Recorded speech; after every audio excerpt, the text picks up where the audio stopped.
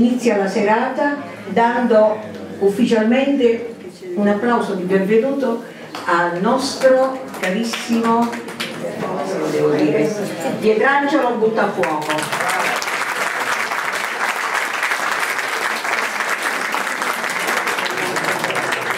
le unità che ci sono presenti questa sera che non hanno mai abbassato la testa e che per coerenza e per carattere e per giustizia percorrono il loro percorso fino a quando non raggiungono la meta, quella meta che è fatta di coerenza, di lealtà e di amicizia, perché finora penso che queste sono le basi per una buona collaborazione fra le persone e penso che noi siamo qui stasera anche per questo.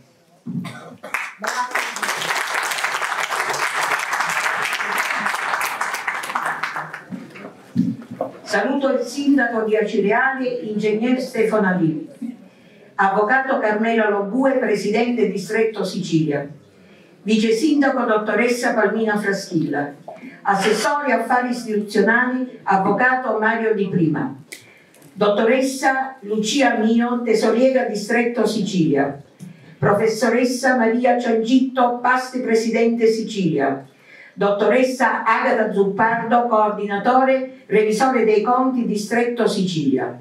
Per la provincia di Catania, professoressa Angela Longhitano, presidente Sendac dei Ribattiati, dottoressa Mimma Torre, San Giovanni Lapunda, dottoressa Elisabetta Lombardo, Riviera dei Ciclopi, dottoressa Anna Maria Batanè, Giarre e Riposto, professoressa Mimma Mafale, Fiume Freddo, dottoressa Piero Bonaccorsi, Porto dell'Etna, dottoressa Eleonora Messina, presidente di Paternò, professoressa Agrippina Barone, professoressa Agrippina Barone, presidente di Catania, professoressa Maria Gabriella Vecchio, segretaria di Belpasso, dottoressa Lucia Ronzisvalle, revisore dei conti di Adrano, per i club service e associazioni cittadine per il Rotary Ingegnere Angelo Gorzi, per il Lions professore Giuseppe Massimino, Pastre,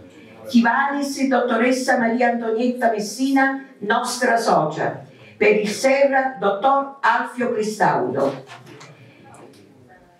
Saluto inoltre il dottore Michelangelo Patanè, presidente Accademia della Zelandea e già procuratore antimafia di Catania e vicario, professor Angelo Pagano, presidente Università Popolare, dottoressa Antonella Di Maggio, presidente Ammi Catania, dottor Cateno Piazza che purtroppo è dovuto andare via, direttore Catania Film Feste, professore Enrico Nicosia, scrittore. E inoltre ma non per ultime, dottoressa Emilia Di Piazza, giornalista e presidente della Fidapa di Mussomeli, nonché anello congiunto che mi ha fatto arrivare a Pietrangelo, anche se Buttafuoco io l'ho conosciuto circa 12 anni fa, avevo una carica in più di presidente de, nel mio primo mandato, eh, 2005-2007 l'ho già conosciuto a Riviera dei Ciclopi allo Sheraton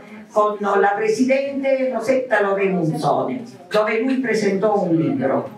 Sto parlando di settembre 2009 e inoltre ancora la, la professoressa Leda Vasca storica dell'arte la professoressa che intervisterà anch'essa il nostro oh, buttafuoco la professoressa e maestro Vera Pulvirenti, donna Fidapa 2017, nostra socia, dottoressa Rosa Barbagallo, donna Fidapa 2022 e l'architetto Rosa Maria Garozzo, amministratore unico a Cireale, a Cireale Dona per quanto riguarda il periodo del Covid. C'è stata una raccolta proposta dal nostro sindaco, dall'assessorati e tutti, e quinti conseguentemente cavaliere di merito nostra socia. Io ho terminato con i saluti e passo la parola per un saluto al sindaco ingegner Stefano Ali. Grazie.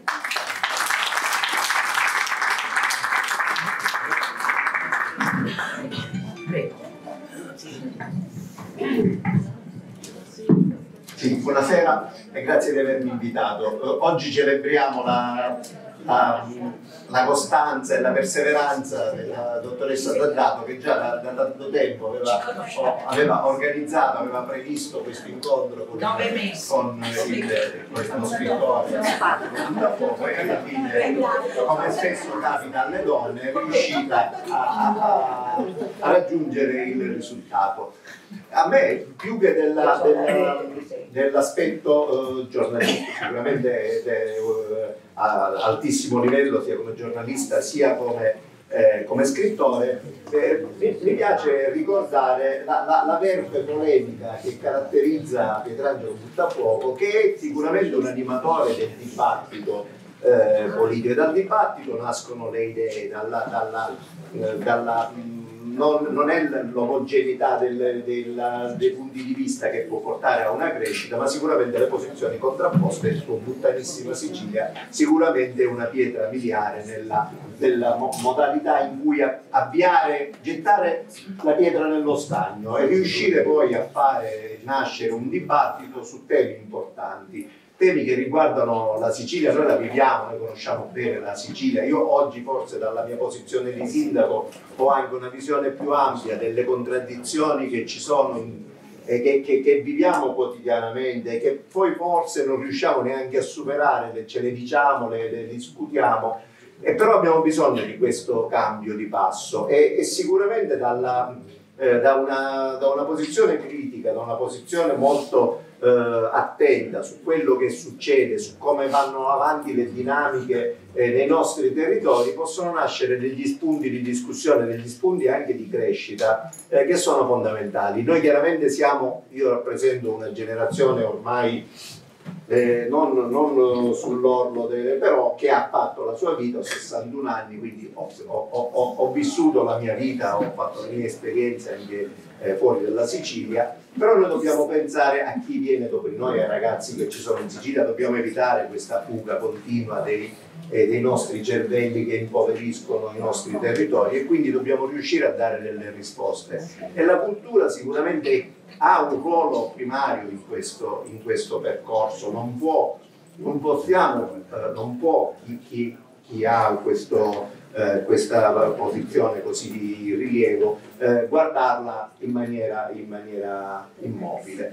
E quindi quello che io veramente ringrazio eh, Pierangelo Buttafuoco come, più che come scrittore come giornalista è come ehm, ehm, evidenziatore dei nostri vizi, dei vizi del nostro territorio, della nostra politica, della nostra società e questo, di questo sicuramente gli va dato merito e, gli, e, e noi eh, speriamo di poter anche oggi avere delle, delle perle eh, di, di, saggezza di qual la, la, quali sono le, le, cose che noi dovremmo riuscire a cambiare in questa Sicilia così vituperata ma così bella. Grazie. Grazie.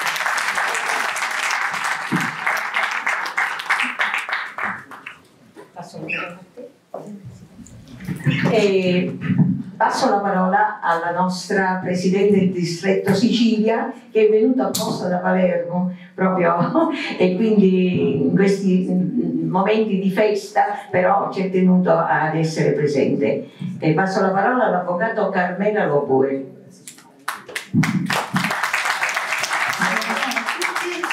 Tenuto in particolar modo ad essere presente e a conoscerlo di presenza, perché io confesso che non ho fino ad oggi letto nessuno dei suoi libri, ma da domani comincerò.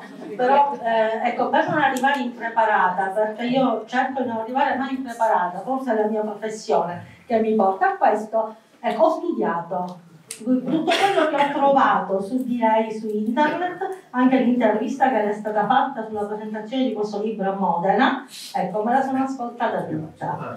Ecco, e da quell'intervista io eh, voglio riprendere una frase che lei ha all'inizio dell'intervista, lei ha detto inizio col grazie. Grazie a chi ancora frequenta la libreria sotto casa, grazie a chi frequenta i cinema e grazie a chi frequenta il teatro Ecco, io sono una di quelle che frequenta librerie, cinema e teatro, perché credo che con la lettura, con la cultura possiamo non solo accrescere il nostro sapere, le nostre informazioni, ma possiamo trovare anche quelle soluzioni ecco, che la vita eh, eh, quando ci mette davanti a dei bivi, quando ci mette davanti a delle soluzioni da dover prendere, dalle delle decisioni da dover prendere, ecco, ehm, il nostro bagaglio culturale sicuramente viene arricchito anche dalla lettura. Eh, quando diventai presidente della mia sezione, quindi nel 2005, io ho istituito una rassegna letteraria che si chiama La Fidapa invita a leggere e ho cominciato a organizzare un ciclo di incontri con autori vari per invitare alla lettura. Adesso, quando sono stata eletta presidente del distretto, questa rassegna letteraria l'ho fatta diventare un progetto distrettuale e in tantissime sezioni si sta procedendo alla presentazione dei libri. Lei è stato invitato anche a Leonforte, se non ricordo male, ha presentato il suo libro, ci sono state eh, a Mussomeri, eh, alla Gira, quindi ecco, eh, mi trovo diciamo, eh, favorevole a questo tipo di incontri. Quindi io eh, l'ascolterò con molto piacere e poi mi riservo le conclusioni. Grazie. Grazie.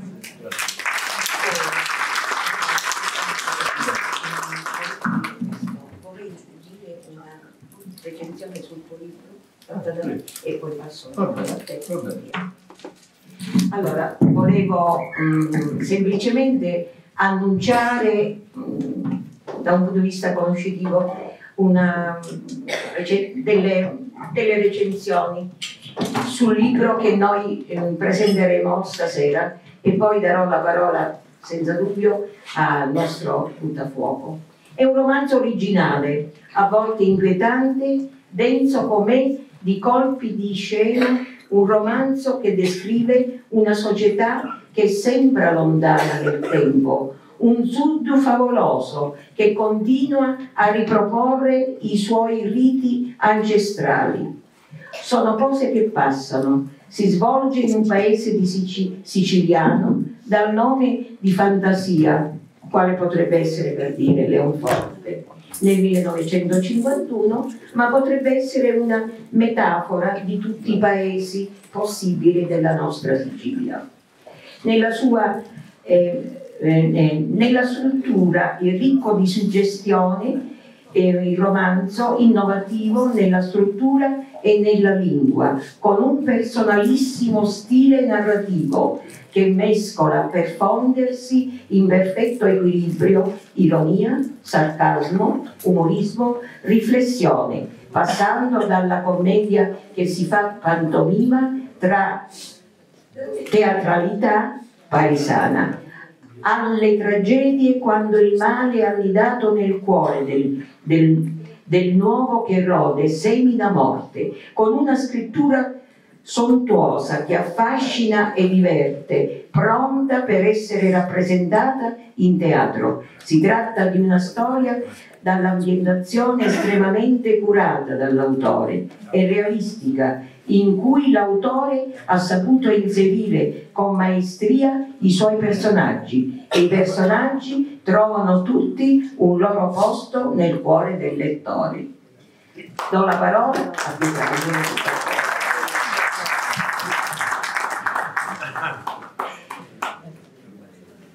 Prego. Prego. Vai. Sì, vai, il braccio.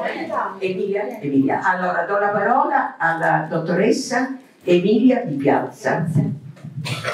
Grazie Antonella, eh, buonasera a tutti, ben trovati. Eh, permettetemi di dire che sono particolarmente felice di, di essere qui stasera e che la sorpresa è stata tanto gradita quanto inaspettata, veramente. Per questo ringrazio Antonella di, per avermi voluto dare il privilegio e il piacere di poter dialogare con un gigante della cultura del nostro tempo, veramente, che è geniale a prescindere, quello è Pietrangelo Buttafuoco, di, fronte al quale veramente ogni comune mortale secondo me si sente naturalmente inadeguato. Io mi vedo No, tutto meritato, tutto meritato, pertanto lo chiedo venia preventivamente se le domande non dovessero essere all'altezza dell'interlocutore, ma butta poco e butta poco, del resto lo sappiamo. E complimenti inoltre ad Antonella per il meticoloso lavoro che ha condotto, eh, che risultato è qui stasera, Antonella sotto gli occhi di tutti, quindi questa sala gremita e sta partecipando. Grazie a Gabriella Carmela Logura, Presidente del Distretto Sicilia. Ascolteremo poi nel, nel frattempo anche l'intervento della,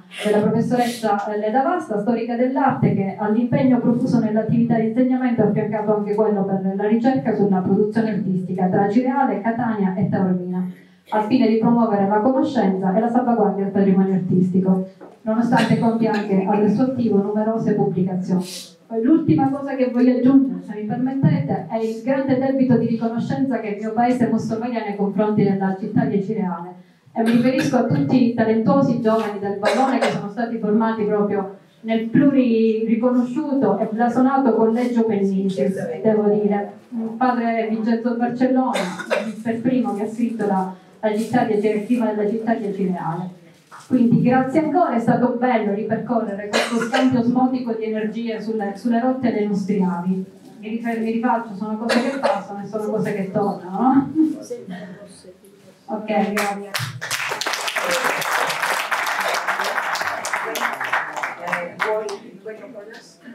No, questo fa.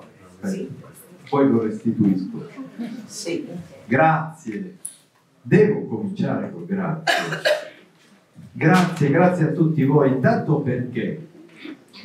Perché c'è questa atmosfera di festa e mi sento rintronato, felicemente rintronato, anche perché sindaco è la tua responsabilità quella di essere l'istituzione, anche perché Acireale ha una sua magia, un tratto che racconta di per sé, già nell'evocarla, un romanzo, un bellissimo romanzo.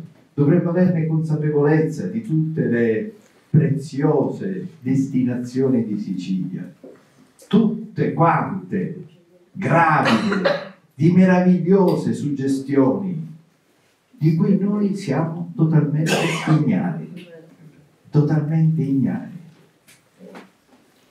L'altra sera vedo seduto qui con noi Beppe Manno, che è una sorta di apostolo del cinema, un nostro interlocutore ci confessò che all'età di 52 anni, pur essendo lui catanese, non era mai andato a farsi una passeggiata sull'Etna.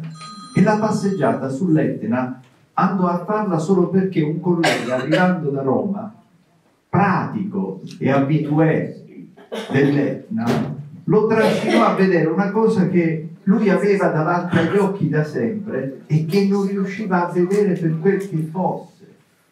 E da lontano invece, da lontano invece se ne ha consapevolezza.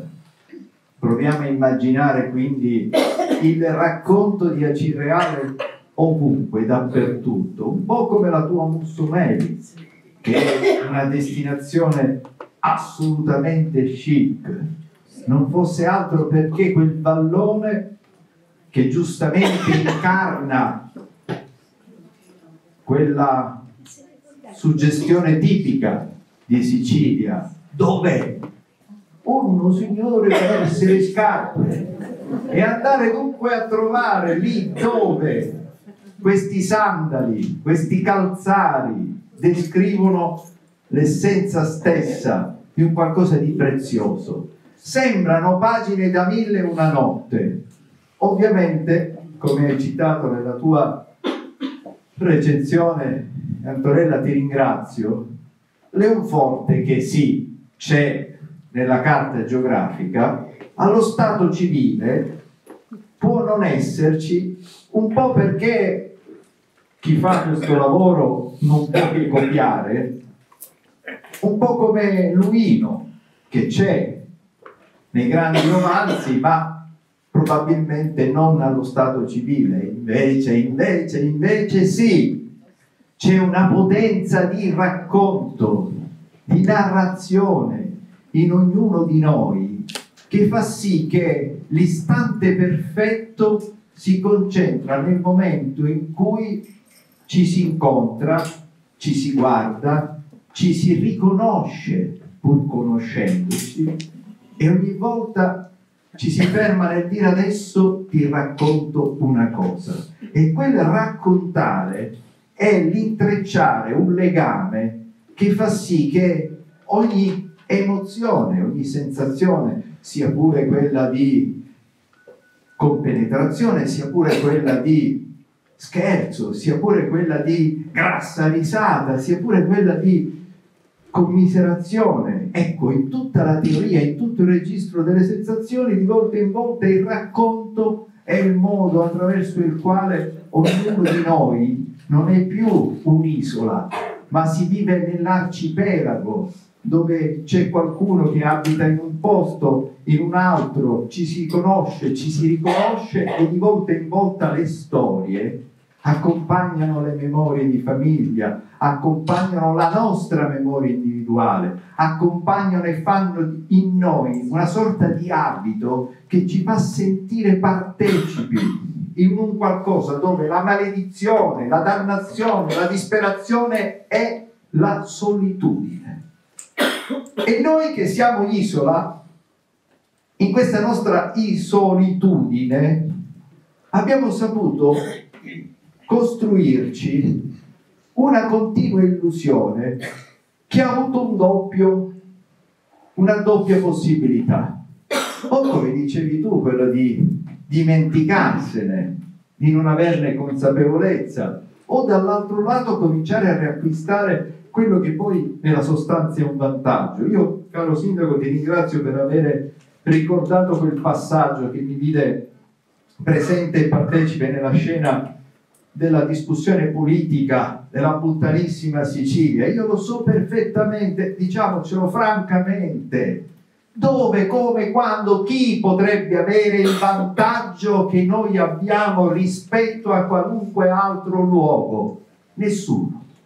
Nessuno potrebbe avere il vantaggio di una terra dove il concentrato di potenza che ricava dalla bellezza, dalla qualità, dalla capacità di essere coerenti con il proprio tempo, ce l'ha solo questa terra dove però dall'altro lato l'indifferenza, la nostra stessa inettitudine, la nostra stessa maligna disposizione porta sempre più a dimenticare, porta sempre più a disinteressarsi, porta sempre più a quella condizione di abbandono. Diciamocelo, francamente lo sappiamo perfettamente, tutto abbiamo in Sicilia, fuorché faccio un esempio, fuorché l'autostrada sono forse autostrade le nostre? No.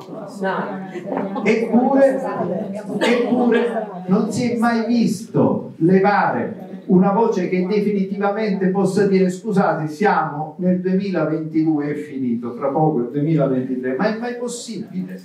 È mai possibile? È mai possibile, in, inimmaginabile, che non ci siano manco quel minimo di collegamenti ferroviari, inimmaginabile che non ci sia neppure la possibilità di mettere a regime un eh, concentrato potentissimo di malia, di bellezza, di luoghi che solo gli stranieri, solo chi viene da fuori riesce a vedere, mentre invece noi no.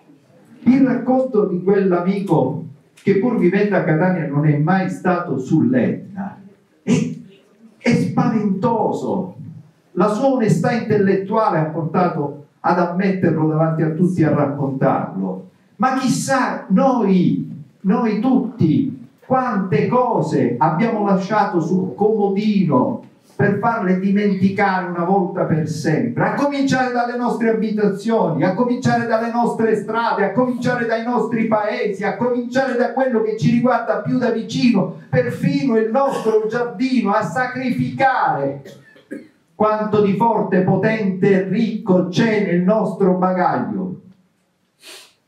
È mai possibile immaginare la devastazione ambientale su un costone delle Dolomiti? Riflettiamoci. È mai possibile immaginare su un costone delle Dolomiti il concentrarsi di ferraglia, cemento armato e il tutto abbandonato e quindi ripieno di rovi. Immaginiamo, è mai possibile eppure, chi fa a largo in queste stesse acque e si avvicina al costone che porta proprio sotto Taormina, vedrà che cosa è diventato il villaggio inesistente che doveva sorgere sotto Taormina, eppure se ne sta lì come uno sfregio, come una cicatrice, come qualcosa di orrendo che va a sfigurare una perla preziosa, qual è quella del Mediterraneo.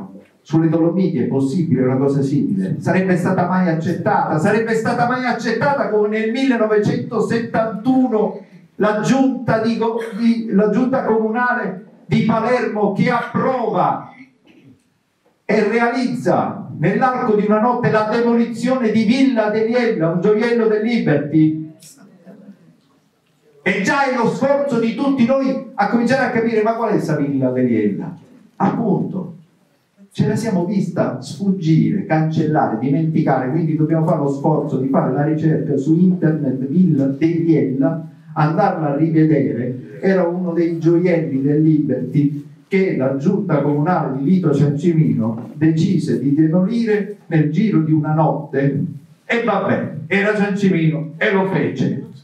Ma noi siciliani, che cosa abbiamo detto all'indomani della demolizione? Facciamo uno sforzo di immaginazione. Sarebbe stato mai possibile che nell'arco di una notte la giunta di comunale di Vicenza decida la demolizione di una delle tante ville del Palladio, che cosa sarebbe accaduto? Di mobilitazione, sarebbe successo l'inferno. Di tutto quello che ci capita, di tutto quello che succede, di tutte le volte che ci troviamo incolonnati e fermi, per tutte le volte in cui c'è il sobbalzo delle strade sfasciate, per tutte le volte in cui la lungaggine ci costringe a dire ah, siamo periferia, ah, siamo fuori da questo tempo, ah, qui non capiterà mai nulla, è un qualcosa che abbiamo costruito innanzitutto noi, in prima persona. E non sono cose che passano. Perché? Perché manca l'atto fondamentale, che è la volontà individuale. Io proprio vi ringrazio e quando tu hai ricordato che è diventato un progetto l'idea di aiutare al senso della lettura, io ve lo dico chiaro e ti ringrazio di aver ricordato quella serata a Modena.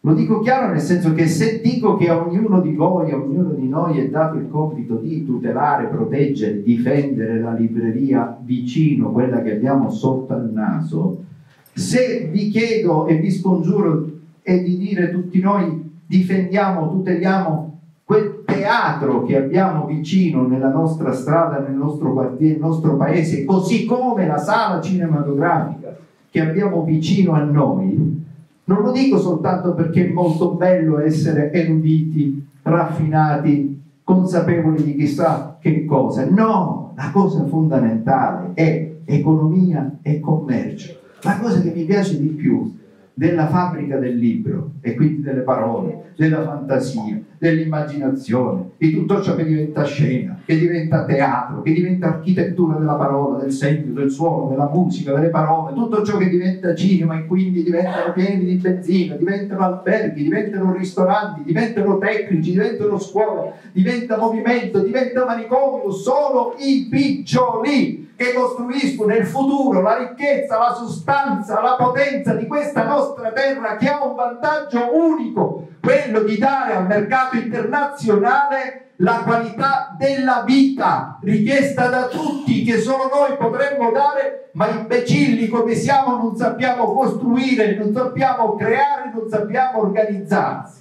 Sono le cose che restano, quelle delle nostre qualità ma sperdendole diventano cose che passano.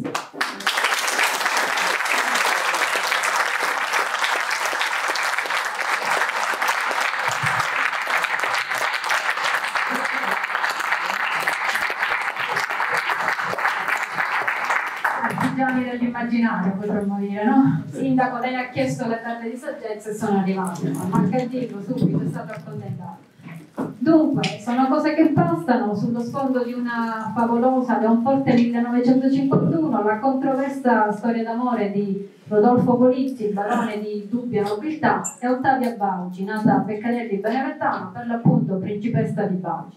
Rodolfo, 27 anni, parla del suo sensualissimo mustacchio, e la principessa invece formatasi a King's College di Londra, refrattaria ad ogni regola, ad ogni buon costume, bellissima e spregiudicata ed è, ed è l'assaggio di quella che io vi propongo come divertentissima tragedia. Perché, eh, insomma, voi so benissimo che nel pubblico di Acireale queste cose le capisce. Eh, certo. Quando c'è l'incontro tra la nobiltà vera e una nobiltà raccogliticcia, sappiamo che male fine fa la nobiltà raccogliticcia perché ovviamente qui c'è la sfida tra, come ha ricordato, la principessa di Baugi, che è principessa vera, e poi questo povero figlio, questo povero ragazzo, bello, bello, bellissimo, che ovviamente è convinto di averla fatta propria, di averla a sé tra le braccia in virtù del suo mustacchio.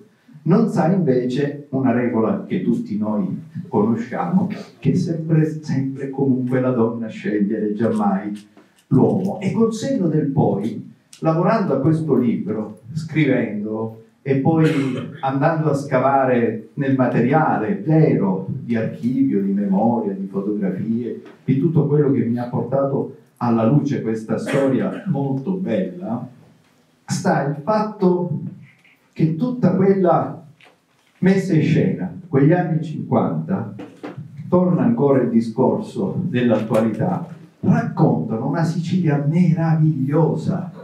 Provate a immaginare la Cireale degli anni 50, cosa doveva essere?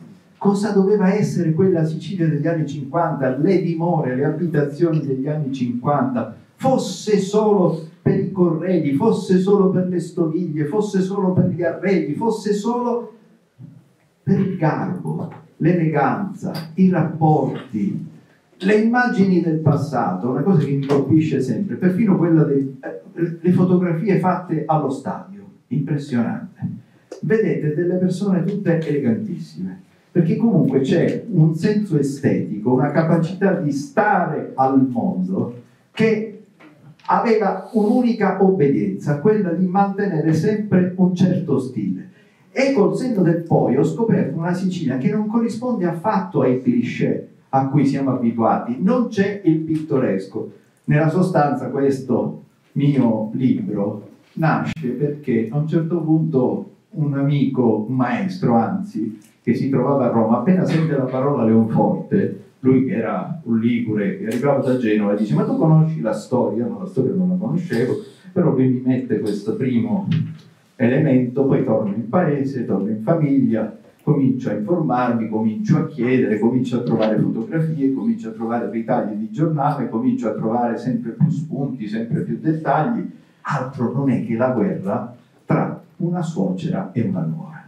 Una nuora elegantissima, bellissima, nel vederla è un incanto, era l'apoteosi proprio della finezza e dell'educazione, abituata poi alle alte frequentazioni, si asserragliavano ovviamente nel mondo, ma quando erano in Sicilia, il meraviglioso palazzo di Palermo, oppure dagli zii a Capo d'Orlando, i fratelli piccolo, straordinari personaggi che sono il fondamento anche di una certa idea di Sicilia. Dall'altro lato, nobiltà di paese, nobiltà rustica, nobiltà di campagne, ma soprattutto lei, la suocera, una meravigliosa donnatina, la baronessa, che io sono sicuro tutti voi avete conosciuto, non lei precisamente, ma quel tipo di, don, di donna vita. Perché da un lato c'è questa principessa di Bauci, allora la principessa di Bauci per facilitare eh, nell'immaginario, avete presente l'altra palermitana per eccellenza che è la Eva Riccobono? Ecco, no? Sì. Eva Riccobone, la tipica palermitana. Giustamente lei dice, vai nel mondo, non ci crede nessuno che a Palermo sono così, ma a Palermo sono così. no? Allora, ed era così, così, cresciuta a King's College, quindi con grande uso di mondo, e una frequentazione importante. Sto povero fidanzato ovviamente non riusciva ad avere la possibilità di interloquire con le frequentazioni di questa principessa, manco sapeva chi fossero, cioè incontrano la Bergman e lui non sapeva neppure chi fosse la Bergman, né tantomeno riusciva ad essere a tavola in conversazione perché è ospite dagli zii, a un certo punto non capisce che come si stesse parlando, certo capiva che parlavano una cosa che non era italiano, però poveretto non capisce neppure che a un certo punto quale- di quale re si parlasse, perché si parlava del re, ma il, re, il re vero per loro non era quello che lui poteva immaginare, il re vero per loro era quello nel cui emblema c'è l'agnellino appeso, cioè il borbone. Quindi non, non riusciva pure, inciampava continuamente in gaffe terrificanti. Per cui però si fa un proposito lui, bravo Caroso, si fa un proposito, cioè l'indomani tornando in paese, la prima cosa che faccio, mi prendo il professore al ginnasio e mi faccio insegnare a parlare l'inglese. Ed è una truffa che lui dice a se stesso, perché già nel come era chiamato il professore si capiva che non poteva funzionare, perché il suo professore era chiamato Tubi. Era chiamato Tubi perché il suo unico insegnamento era quello di dare il verbo essere e da lì non si muoveva più. Era risaputo perché quando ci fu l'invasione americana, gli americani stavano portando al muro un'intera famiglia, li volevano fucilare sul momento individuandoli come dei pericolosi, facinorosi organizzatori di rivoluzione. Erano tutti in camicia nera, tutti pronti per essere fucilati, il paese disperato a cercare di, di chiamare, chiamarono il professore Tubi per fare l'interprete, ma non c'era verso, a momenti la rappresaglia era peggiore perché figurate che inglese stava parlando, quando finalmente arrivò un soldato americano di origine siciliana si chiarì l'equivoco erano in camicia nera perché erano a lutto non c'era possibilità di mettere al muro. Ecco vedete è una divertentissima tragedia perché nel frattempo succedono i guai. E questa bella ragazza bellissima rapinosa sa che a po' questo povero figlio si incapricciò di prenderlo di sposarlo e la suocera ovviamente non poteva capire certe cose. Non, non le funzionavano, un po' come quando appunto suonando il pianoforte Mozart, eh, lei si doveva adattare a suonare il suo Mozart su un pianoforte verticale, era abituata a quei pianoforti al collo, era abituata a certi modi, ma tutto si poteva immaginare tranne quando nel meglio dell'adagio, quando è tutto struggente, quando la pioggia riga di gocce il vetro del balcone, arriva Donnatina che spalanca e chiude il pianoforte e dice adesso andiamo a dire il rosario. sono, sono accenni, segni che vanno a svelare, a spiegare qual è l'atmosfera.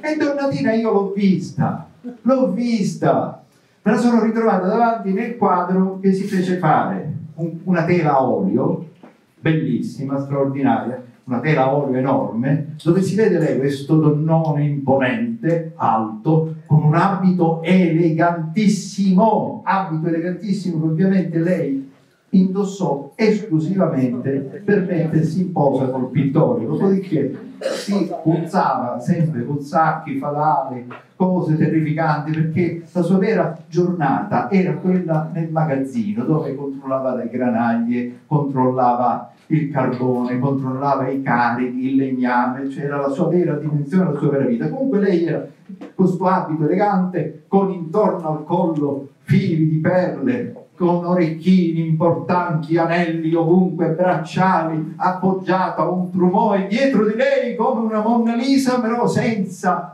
il delicato paesaggio toscano, c'era descritto tutto il senso dei feudi propri e quindi castagneti, uliveti, carrubeti, tutte cose robuste, sazie, su cui però, poveretta, bisogna dirlo, lei che faceva? di fronte a tutto questo sfarzo che rappresentava e raccontava il senso della sua presenza e del potere, i femmine che non, non amministrano, non governano, comandano.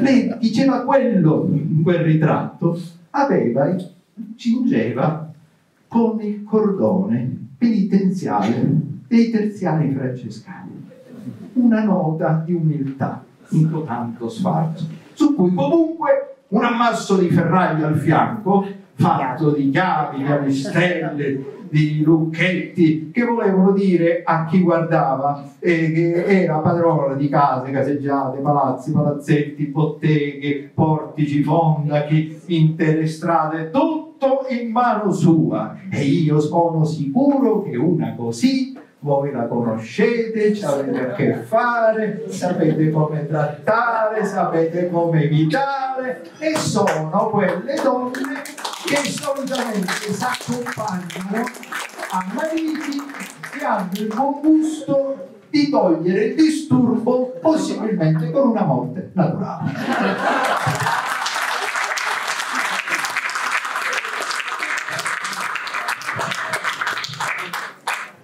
Dove pure il cameriere parla straniero, Rodolfo afferra il telefono e ordina alla signorina del centralino mi passasse il ginnasio di Leonporto, se ricordiamo bene.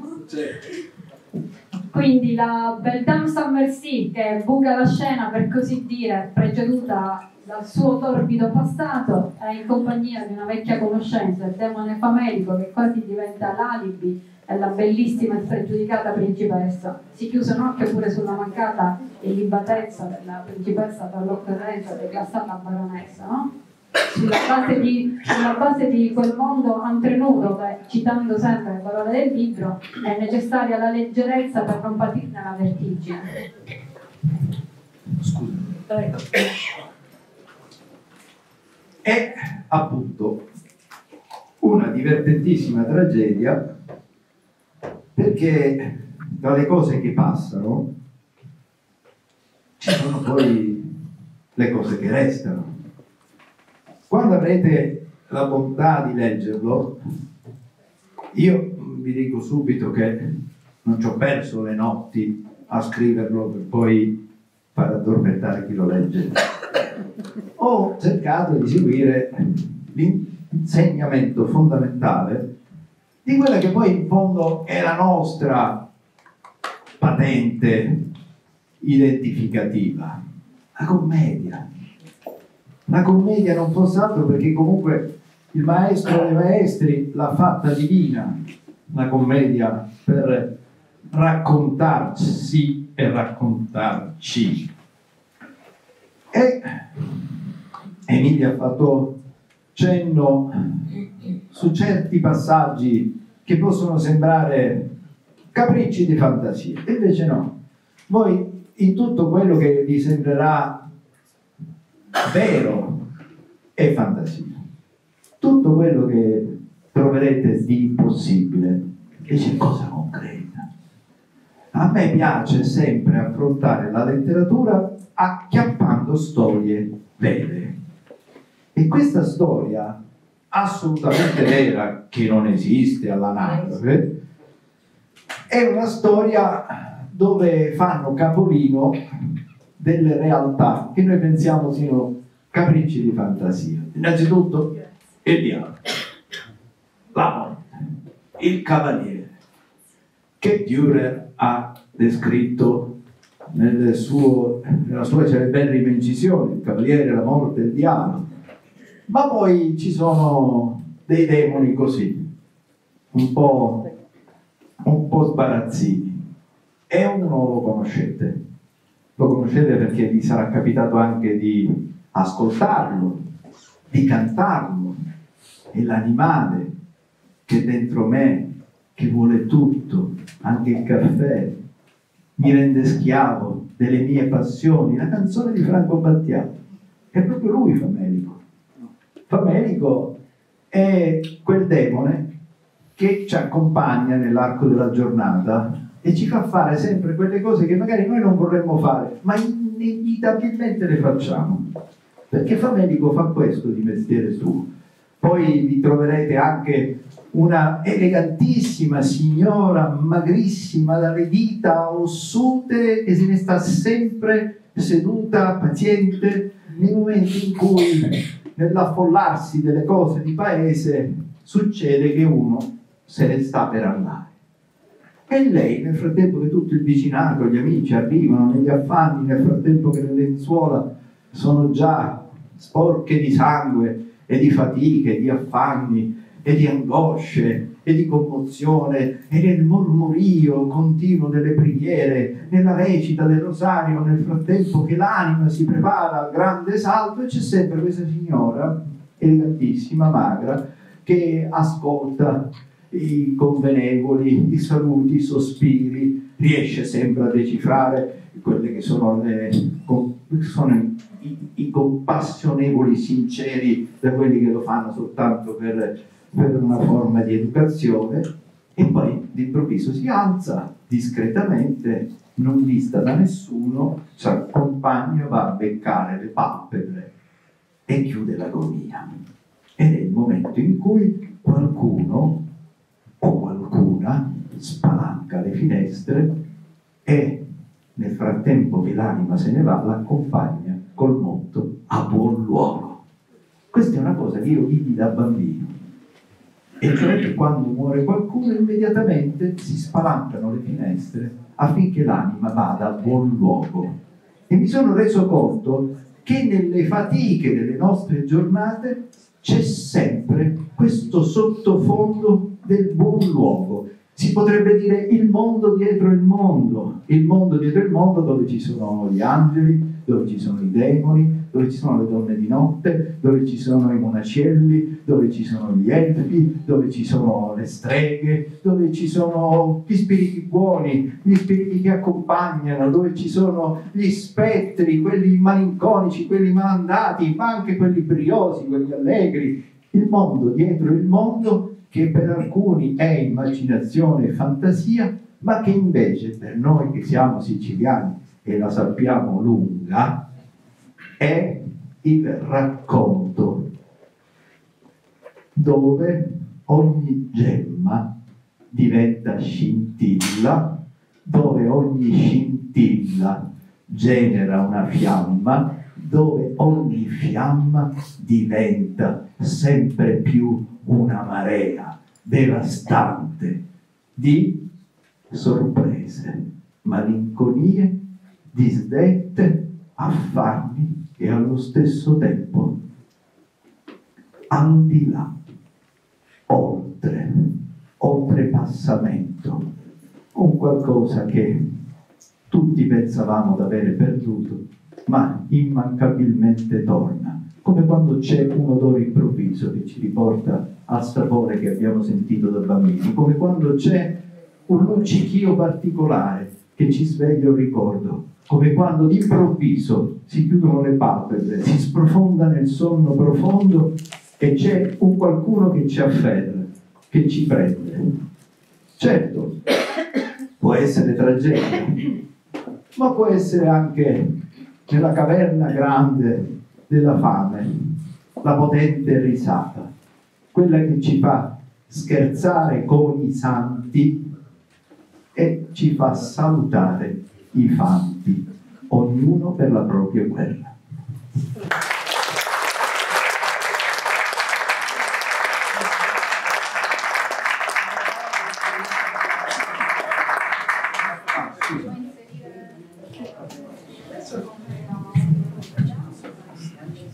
niente come appare si potrebbe dire, mentre si consuma il requiem del barone Polizzi sotto labbra eh, dell'amata moglie appena baciate da Oreste, eh, praticamente uno morto felice e l'altro vissuto infelice, c'è questa dicotomia, quindi tra le cose che non si vogliono fare c'è pure Oreste. Che... Sì, grazie. Io ovviamente non ve lo racconto, non ve lo racconto perché non ve lo racconto perché ci tengo che perché è veramente divertente il libro. E, e non perché l'abbia scritto io, perché si è scritto da solo. Ed è la disdetta. Cioè questo libro mi ha fatto capire dove non c'era bisogno magari di, di avere un convincimento, ma dove l'elemento femminile, il, la potenza ctonica della donna, sovrintende i destini di tanti, di tutti. Voi pensate di incappare in una femmina. Che è capace di rovinare le esistenze di tutti quelli che incontra, di devastarne perfino l'innocenza, l'in... farsi la galera a vita senza sapere perché, andare a morire senza sapere perché e poi, malgrado ciò, andare a scavare al di là, nel mondo, dietro il mondo, per averne un qualcosa che la letteratura su questo ci ha aiutato, e ti fa capire che tra le cose che passano ci sono le cose che restano. Allora, io non vi racconto il libro, però vi voglio dire che a un certo punto incontrerete quello che in termini eh, letterari si chiama il Deus ex machina, cioè un personaggio che arriva e riavvolge la storia e cambia tutto. Ed è Carlo del Croix. Questo nome dice poco adesso. Velocemente vi dico subito lui era un ragazzo di neppure 19 anni, un bellissimo ragazzo, alto, con una voce meravigliosa, una capacità poetica unica. Lui era il Ferragnez dei tempi, era un influencer, nel senso che quando si muoveva, quando nelle città si sapeva della sua presenza, la gente si affollava intorno a lui per ascoltarlo. E ovviamente era bello, era fascinoso, e lui viveva da protagonista nella sua epoca e quindi non non, neppure diciannovenne, lui, eh, siamo al momento della prima guerra mondiale, parte volontario nella, per, nella prima guerra mondiale e lui, neppure diciannovenne, bravissimo, potente, forte, incappa in un'azione di guerra in una mina che esplode e quindi immaginate un ragazzone alto, bello, importante, potente, che si ritrova in un lago di sangue senza più le braccia e senza più la vista.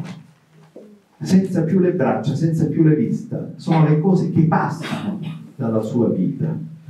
E allora troverete questo personaggio e io adesso mi affido non a parole mie ma a parole sue.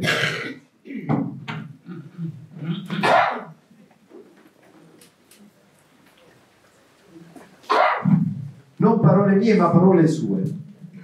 La scena è questa.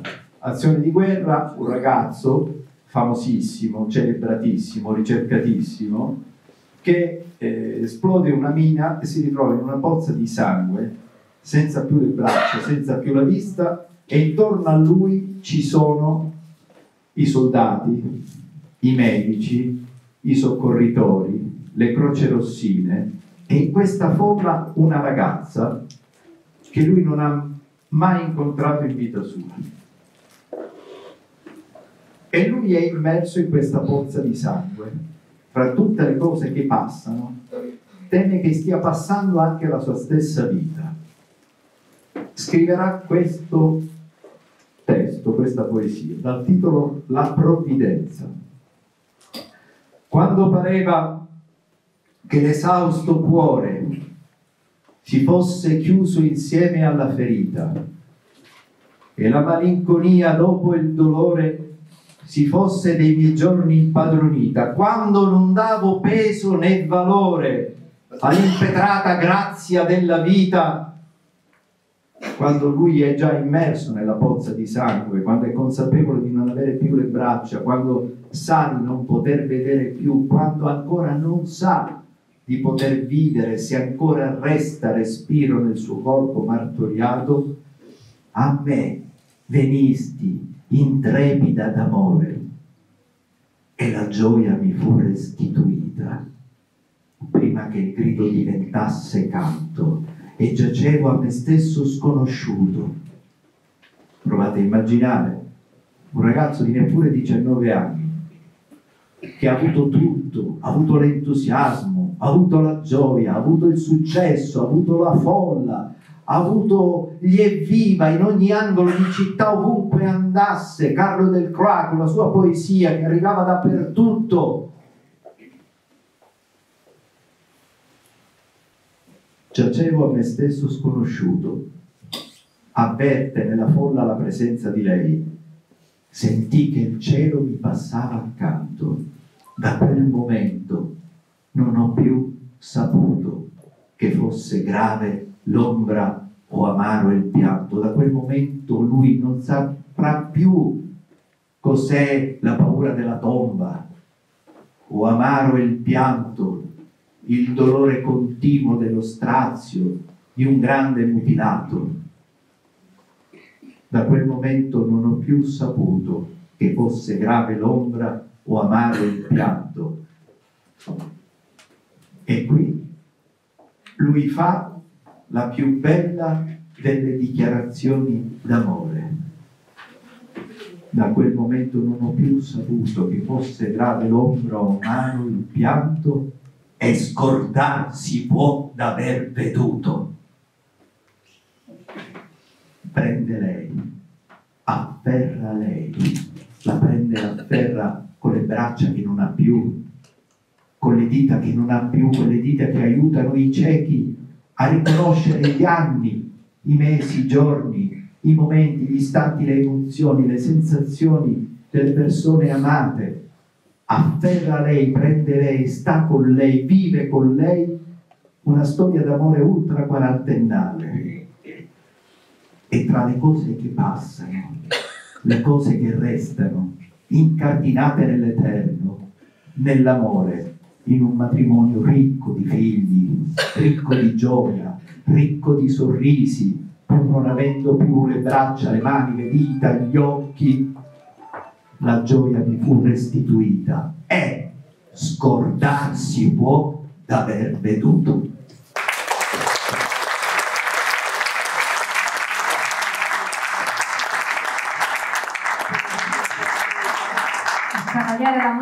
Diavolo in ordine inverso. Poi sulla banchina del porto di Genova, poi ogni cosa torna su se stessa, questa immagine meravigliosa e iconica che è quella di copertina.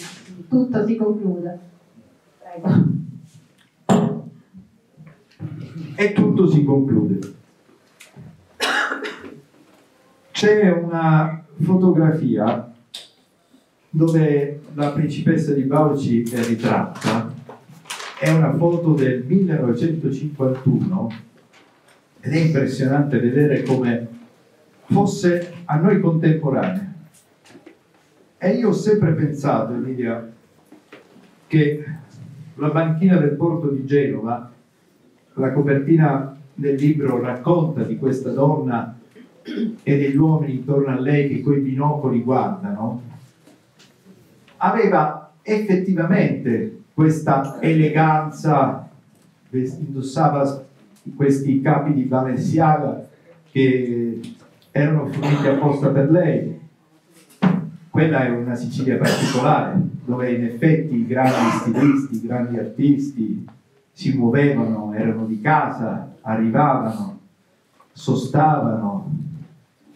E il Cavaliere, la morte il diavolo, perché proprio Dürer poteva descrivere quel momento al molo di Genova, così come Mozart poteva spiegare il senso della pioggia in un angolo remoto della nostra terra, nell'entroterra poi, dove l'unico mare è il grano, poteva dare il senso di esistenze che se ne vanno tra le cose che passano, ma che restano e si incardinano proprio perché reclama sempre l'arte un qualcosa che le riporti alla luce. Io sono felicissimo di aver trovato questa storia. Tutti i miei romanzi sono sempre costruiti su vicende concrete, vicende che hanno un fondamento, una storia. Poi ho voluto offrire un senso ulteriore, che è quello della commedia. Ho voluto anche mettere in scena un qualcosa che riguardava un paese che conosco benissimo, il mio paese, e nel presepe di persone e personaggi io ho voluto restituire loro un qualcosa che non è il make-up da fare alle esistenze, ma di ricordarle per quello che sono.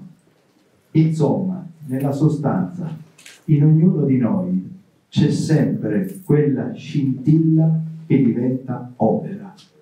Dobbiamo soltanto prestare orecchio, avere sguardo e soprattutto cuore, perché nell'esempio di Delcroix e poi il senso stesso del libro, bisogna saper vedere quando non abbiamo più modo di guardare.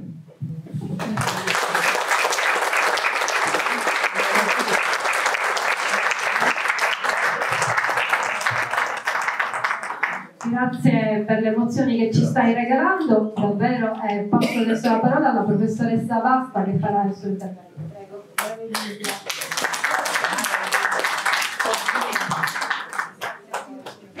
Ringrazio. Grazie, buonasera, grazie a tutti, grazie soprattutto ad Antonella per avermi voluto qui stasera. Dicevo un libro strepitoso, un libro diverso, un libro originalissimo, tanto che l'avevo eh, acquistato in forma digitale, poi dopo averlo letto dico io lo voglio questo libro e quindi l'ho, l'ho comprato in cartaceo perché deve rimanere. E deve rimanere perché Mm, è un classico, questo libro che si colloca nel panorama della letteratura eh, non solo siciliana, ecco, c'è un filo luce che collega questo, questo romanzo a tanti romanzi eh, come quelli di Sciascia, eh, come tanti della letteratura siciliana, Pirandello, Brancati, insomma, non li elenco tutti, sarebbe troppo lungo. Eh, tuttavia si coglie che ci sono queste letture, sono, queste letture sono riflessioni sulla, sulla letteratura siciliana, ma non solo. Eh, io forse sarò un po' azzardato, però per quella capacità di, di porsi, in, ehm, di porsi la, il problema di ehm, realtà e finzione, ecco, in che modo interagiscono realtà e finzione, in fondo nel, nel romanzo noi assistiamo a dei fatti che sono veri, verosimili, personaggi veri, verosimili, quindi c'è sempre questo, questo contrasto, questo alternarsi di realtà e finzione, che sono tipici anche della ricerca letteraria di giganti del panorama letterario come Mario Vargas Llosa oppure come semplicemente come Borges. Sto esagerando? Penso proprio di no, penso che ci siamo, ci siamo proprio. E, ehm, e poi il, il, metodo del cinema, il metodo del teatro, la frequentazione del teatro eh, che mh, fa sì che il racconto di questa Sicilia diventi un racconto è diverso da quello che normalmente viene fatto, perché una, la Sicilia che, che, viene fuori non è quella stereotipata, non è quella folcloristica o pittoresca, è una Sicilia vera, una Sicilia, eh, specialmente quella degli anni 50, che aperta, in cui si respira un clima di grande libertà. Eh, siamo reduci nel tempo da, da, dagli anni della guerra e poi dal fascismo, quindi tutto eh, si mette in gioco, tutto è liberamente concesso. Poi ancora, ecco, abbiamo personaggi veri, verosimili, e io tra queste pagine ho incontrato eh, Alessio eh, Crowley, Alistair Crowley, che eh, a Cefalù fonda la sua abbazia e, la, fonda anche una religione, l'abbazia di Telema o Telema, Telema. Eh, e lì praticamente è vietato vietare, cioè mh, veramente qualcosa di inquietante, un personaggio che probabilmente sta in bilico tra satanismo, occultismo, e che attrae tanto, attrae gli intellettuali e non solo. Quindi Ottavia e la amica Lucy sono attratte da Cefalù, perché Cefalù sicuramente è un posto proibito ma che esercita una strana attrazione, come diceva Freud, è il perturbante che ci attrae.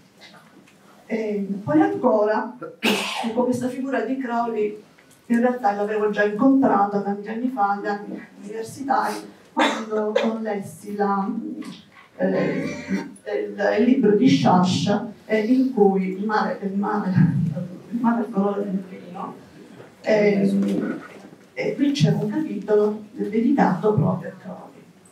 Poi ancora abbiamo a Capodorlando i baroni, i baroni piccoli di Cala Novella, Lucio che un noto perché era poeta, poi c'è Casimiro, Casimiro che incontriamo sulle pagine del libro con la sua eh, fobia, la fobia di non avvicinarsi mai agli altri, eh, e viene tipizzato, tipizzato appunto col metodo del cinema. Quindi questa, questa mania lo rende tipico eh, Casimiro. Vabbè, non scendo nei dettagli perché sarebbe un po' troppo lungo parlare di questo pittore, però ecco, Cefalù, eh, il capo d'Orlando, cosa rappresentano? Rappresentano sicuramente dei luoghi d'attrazione per gli intellettuali eh, del, di, quel, di, quel, tempo, degli anni 50. Quindi per cortesia un po' di silenzio, grazie. Una frequentazione, diciamo, obbligata. E poi ancora ci sono, ecco, il metodo del cinema. Cosa significa il metodo del cinema? Significa anche altro, significa che ehm, alcuni particolari che potrebbero essere, essere magari insignificanti no? a uno sguardo superficiale, invece mh, sono, diventano estremamente significativi. Io faccio sempre l'esempio del, del pianoforte, questo pianoforte di cui già abbiamo parlato, appoggiato alla parete, e sul quale sono messi dei cintri. Ora, l'autore, lo scrittore, non dice eh, i troppi centrini sono sul pianoforte, no, dice il pianoforte è umiliato dai centrini. Quindi sceglie questo termine, lo sceglie in modo da darci, da rendere l'idea eh, molto, molto, molto concreta dei, dei gusti dozzinali della padrona di casa, quindi avrebbe potuto farlo diversamente, ma sceglie quel termine. Quindi c'è tutta una ricerca linguistica che è molto, trovo che sia molto, molto interessante. E poi ancora, quando descrive non più ecco il ritratto di Donnatina, ma il ritratto del defunto marito, questo marito defunto che è praticamente l'emblema della, del benestante, il benestante che alle spalle non ha un bellissimo paesaggio, ma semplicemente il paesaggio delle proprie terre, il possedimento ai russi. E poi ancora, eh, qui dice, leggo le sue parole, è un paesaggio che invecchia con la casa, su cui il pittore dal pennello realista non ha trattenuto nel girare tutto il ventre gli scivola dal petto fino al principiare dell'inguine, come sottolineare la solidità del benestante in un mondo di umanità smagrita e affamata.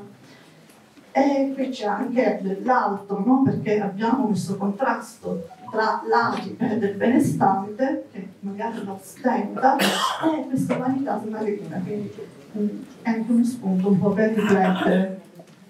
Poi ci sono i personaggi fantastici quindi non abbiamo parlato di quelli reali, quelli fantastici, quelli sono sicuramente quello che eh, frequenta eh, le, le, pagine di questo libro è famelico, cioè il diavolo. Ma questo diavolo, riferendosi a, a Ottavia, in realtà la perde completamente. Io trovo che questa figura di famelico sia vicina a quella che gli antichi greci chiamavano la iubris, cioè quella presunzione quella, quell'arroganza, quella tracotanza di mh, mm, fare a meno delle leggi e di appunto eh, essere indifferente completamente al bene. Quindi eh, la, eh, la, stessa Ottavia eh, dice subito al marito, eh, proprio i primi, primi giorni, gli dice di essere indifferente alle regole e poi non gli nasconde neppure che è stata a Cefalù e neppure che ha partecipato ai famosi, anzi famosi, non sono molto famosi, i riti dello Schmiss. Forse nessuno di voi sa che cosa sono. Io l'ho scoperto leggendo questo libro perché sinceramente non sapevo che in Inghilterra, in Inghilterra dei college, eh, in Inghilterra dove tutti sono tutti belli educativi, c'è quello del Ponton, eccetera, invece si volgevano questi riti un po' cruenti tra gli studenti e soprattutto le studentesse, le studentesse, questi Ottavia, che muniti di, di rasoio, di spadino, eh, incideranno le guance dei loro compagni. Ma eh, questo vediamo che è, vero perché ehm, poi tanti uomini, anche uomini illustri, uomini poi famosi, se li guardiamo nei ritratti fotografici dell'epoca, troviamo che hanno questa bella cicatrice in viso. Quindi è una prova di coraggio, una prova di coraggio che si mescolava anche all'eros, in un certo senso. Poi un altro, aspetto fondamentale in questo libro, straordinario direi, no? perché è vero che eh, non si capisce a volte dove finisce la prosa e comincia la poesia o viceversa, dove finisce la poesia e comincia la prosa. C'è un poeta, c'è un poeta, abbiamo un poeta e vi leggo alcune, alcuni brani eh, come questo ad esempio, bellissimo. È un inverno di luna sazia, con una luce bianca, che adesso se ne piove sfuggente dal cielo. Oppure, è meravigliosa quella strada, io l'ho fatta. Cortesia, un po' di silenzio. Eh, fatta, dalla seta di un cavallo puoi respirare i profumi e farti raccontare dai rami tutti i loro segreti. Oppure ancora, la mattinata è serena, la prima puntella di spigli liquidi e brillanti, la voragine sparsa per i camminamenti. E, e si potrebbe continuare così, per esempio, tutto è muto, fa il gelsone luguba, aggrappate ai cipressi dell'altura di Santa Croce col suo grido ruggia, l'uccello pocherella, il silenzio di tutta quella brava gente addormentata quando si apre l'uscio della rimessa e calogero si profonde nei chini prima di cominciare a scaricare i sacchi di carbonello. E quindi vedete, eh, questo è un aspetto veramente straordinario che eh, ci induce a soffermarci ogni tanto, è così il libro si può leggere per seguire la trama, per vedere come va a finire, però il bello del libro è, di questo, di questo romanzo, è apprezzare, saper apprezzare pagina dopo pagina questi, eh, questi particolari che ci danno sicuramente grande, grande piacere nella, nella lettura. E poi c'è anche un'altra dimensione, che è quella della ricerca linguistica, un vero e proprio laboratorio linguistico, perché riprende alcuni eh, termini ormai desueti, come per esempio quello dell'affaccio. Un tempo eh, si diceva mi vado ad affacciare da, dalla zia, vado ad affacciare, vediamo chi dice la zia, termine infatti l'affaccio. Eh, sono le 5 della sera e Antonietta e Lia come ogni giorno arrivano sul corso dell'amica per andare a braccio. Poi, un altro termine, eh, a proposito di Rodolfo, poco fa si parlava di Rodolfo che partecipa al pranzo di questi eh, parenti della moglie, parenti della moglie e, e ne combina una delle sue, però poverino, eh, siccome è completamente inadeguato, eh, cerca di mh, mm, introdursi nella conversazione. Allora, eh, alla fine, perché il testa che non parla e cucuzza e non può fare la figura di quello ordinario, avanza verso il gruppetto e il poveretto improvvisa e combinerà un disastro. E poi ancora cartoniava e togliamo altre, altre, altri termini che eh, sono qui. Ora io vorrei concludere con una domanda e dire quanto è importante elaborare modelli artistici e letterari creativi in un presente dominato dalla semplificazione omologante delle tecnologie di massa, dalla superficialità di certa letteratura che purtroppo è in voga.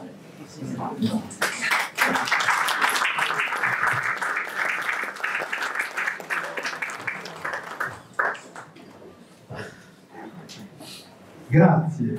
Eh, prima di rispondere alla domanda ho una domanda io. se posso portarvi quei fogli. Grazie. Io penso che la risposta sia quella che ognuno di noi può dare. Ognuno di noi può dare.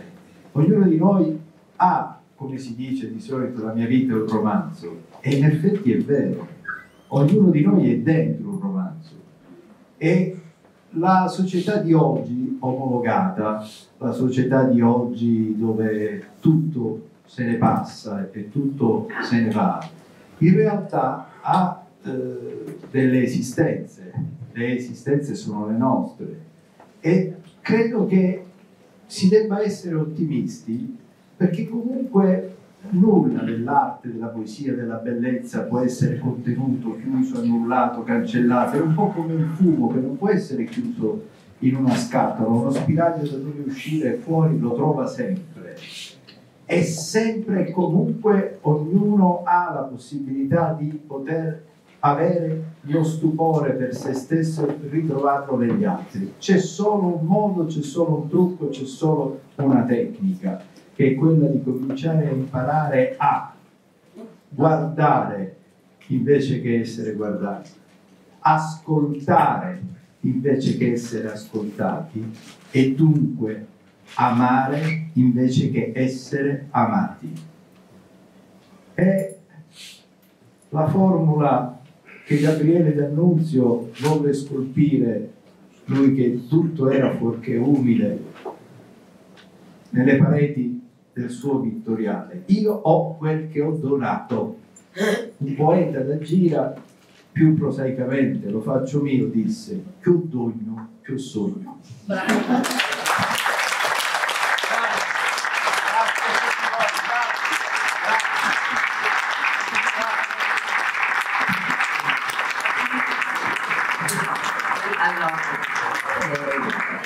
ringraziamo, non ci sono parole penso per eh, dire un semplice grazie e molto poco Pietrangelo, l'onore che ci hai dato di venire e sei stato di parola soprattutto. Come si riconosce dalle cose? Oh, certamente, sei stato di parola quindi io direi che oggi forse ci dobbiamo accostare all'altra persona usando, come tu hai detto poc'anzi, molta più sensibilità,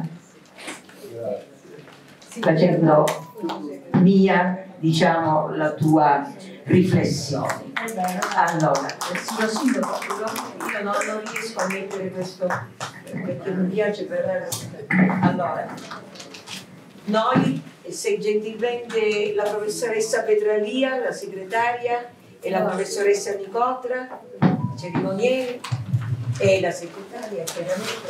Questo è un piccolo dono di un, poi te la guardi su Aciliano. Questo. E, ma prima di questo, mentre lui guarda il dono, ringraziamo Pietrangelo. Grazie. Pietro Paolo, basta. Grazie, grazie.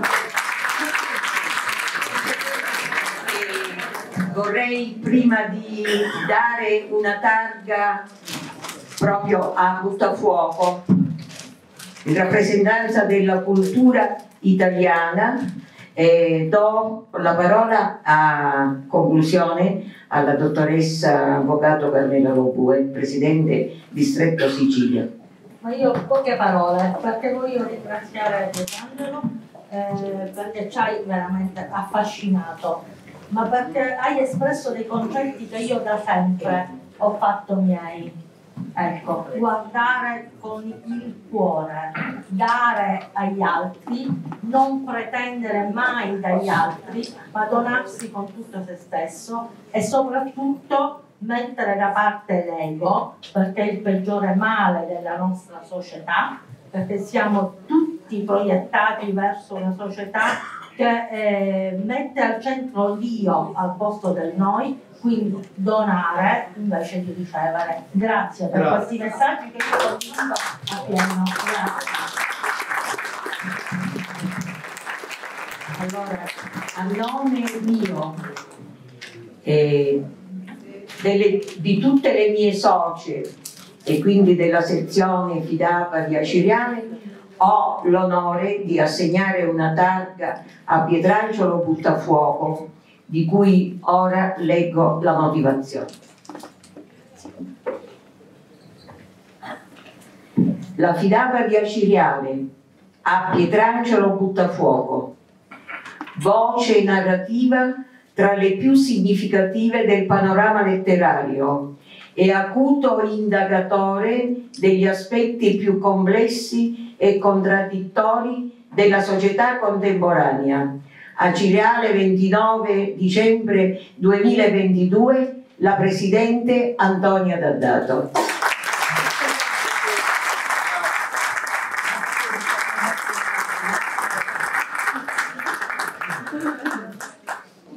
Grazie. Emilia, Emilia e lei da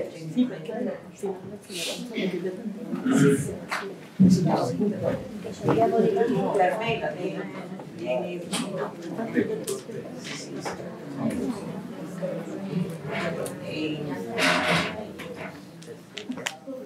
Grazie. Grazie.